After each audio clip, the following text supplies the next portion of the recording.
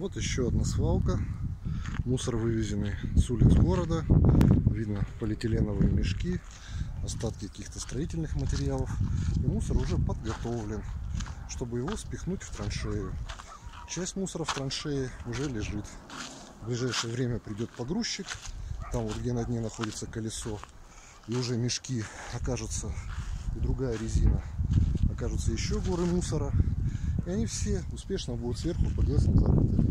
И вот такой еще огромный котлован приготовлен для дальнейшей якобы ликвидации свалки, которая, согласно решению суда, должна быть рекультивирована. Вот так называется рекультивация по-назаровски.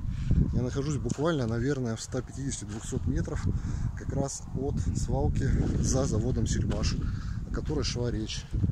За эти годы свалка разрослась уже до неимоверных пределов и уже вышла далеко за эту территорию. И вот так сейчас чиновники формально выполнят решение суда. При этом еще лояльный к ним подрядчик на этом заработает миллионы из бюджета города Назарова.